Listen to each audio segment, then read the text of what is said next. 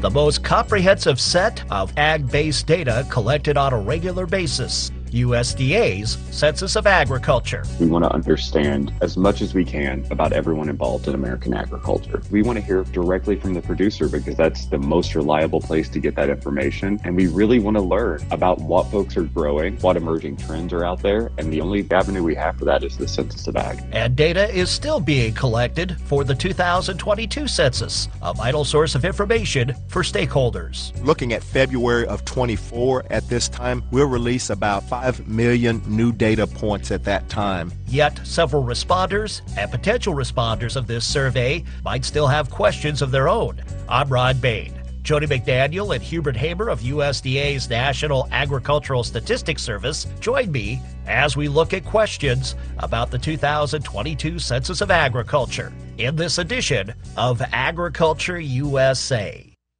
So many questions within the 2022 Census of Agriculture. So many questions about the 2022 Census of Ag. What is known is this important survey conducted every five years is the definitive set of data captured at a point in time about our nation's ag sector. We're in the throes of the data collection activity right now, actually running a little bit behind pace of the 2017 census. There's still time to provide that information. We'll be collecting information through the end of the spring. Hubert Hamer is with USDA's National Agricultural Statistics Service, the agency that oversees the census. The census survey goes to all eligible agricultural producers in our country. But is filling out and submitting the census required by law?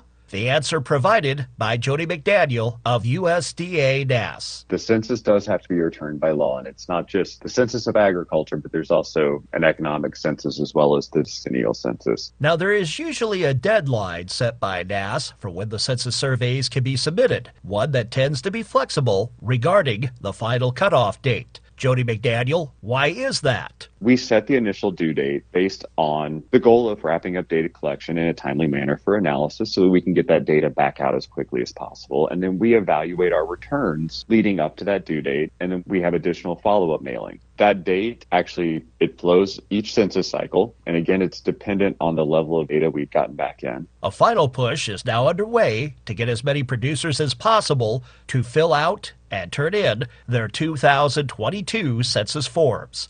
As for the part of why some farmers and ranchers have perhaps not yet submitted their surveys, both Hamer and McDaniel acknowledge various reasons. Privacy concerns about the data shared by producers is one. As Hamer explains, though, any piece of information that farmers and ranchers provide to us, it is protected by law. It cannot be shared with any other organization. It can't be shared within the Department of Agriculture. So the data that they're providing us is protected, it's safe, then there are the census forms themselves, which Jody McDaniel says for participants. Maybe the form's overwhelming for them. As there are several pages of questions within the census survey. But when you take a look on the inside of the questionnaire and you start going section from section, there are many, many sections that most producers aren't going to fill out depending on what they grow or what part of agriculture they're involved in. To help improve response rate, census enumerators and data collectors are conducting follow up phone calls with producers who have not yet filled out their survey. We also have records with our field enumerators who have been trying to work at a local level as well. Census surveys can also be completed online.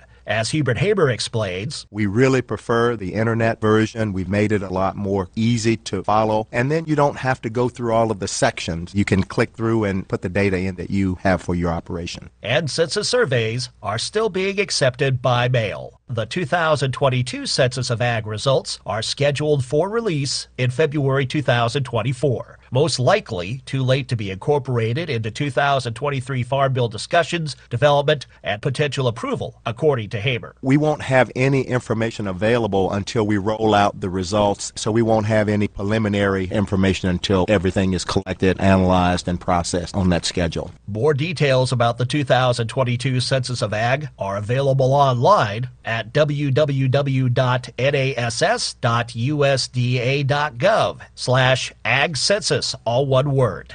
As for the how the census is developed over time and the why census data is important, that is the focus of our next edition of Agriculture USA.